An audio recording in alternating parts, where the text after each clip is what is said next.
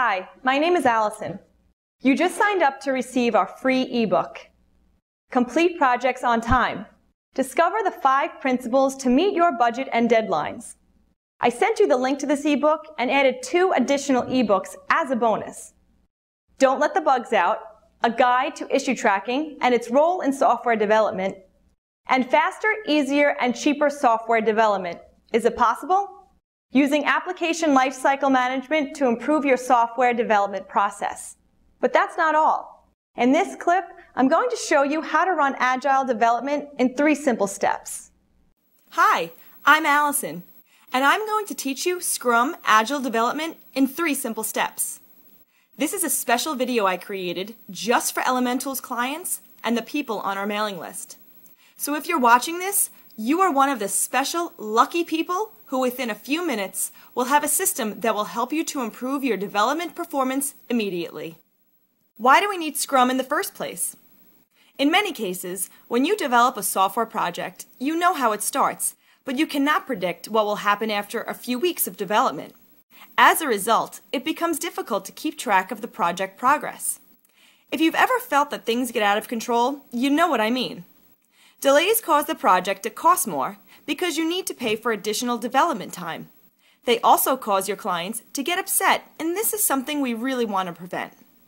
Scrum enables you to keep everything visible, and it allows the team to know exactly what's going on and make adjustments to the project to keep it moving forward.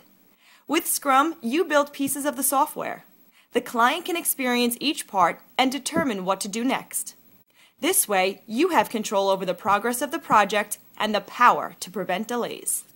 Let's get started. Step 1 Create a backlog. The project backlog is a list of all the features that clients would like to have as part of the complete product. It includes the client's dreams and wishes. But it doesn't mean that everything will be developed, as we'll see later. The backlog is created by the product owner, and the product owner represents the interest of the people who ordered the product, the clients. Step 2 is estimate and prioritize. After completing the backlog list, the product owner estimates how long it would take to develop each item on the list.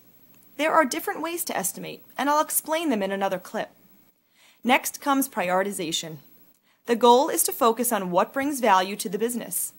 The product owner sorts the backlog items by priority, from the most important at the top to the least important at the bottom picks the features that should be included in the release, and creates the release backlog. Step 3 is sprint.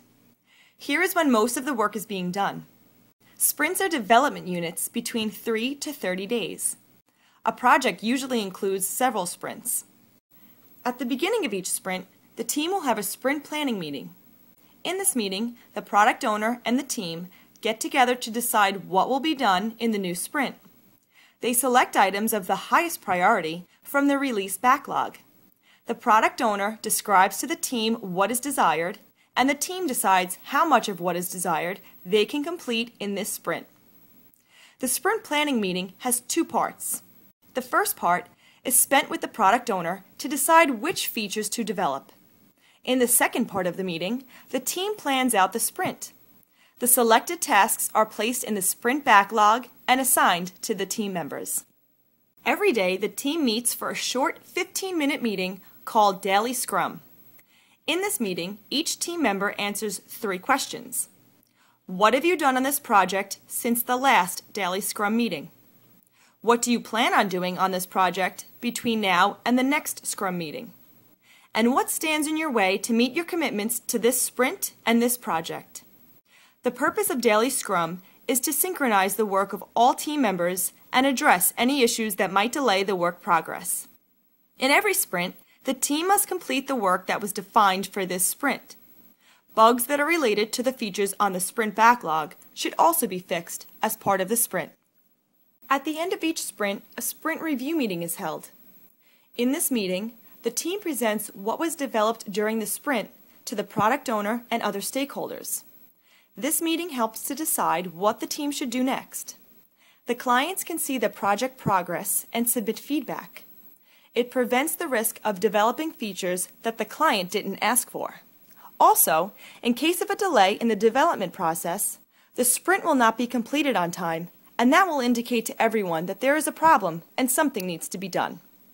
Repeat step 3 until all features on the release backlog are developed and the product is ready to be released.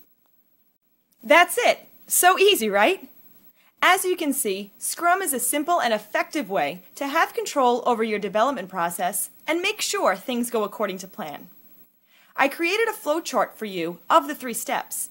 You can download it using the link below. And if you want to know more or have any questions, please don't hesitate to contact us at support at elementool.com.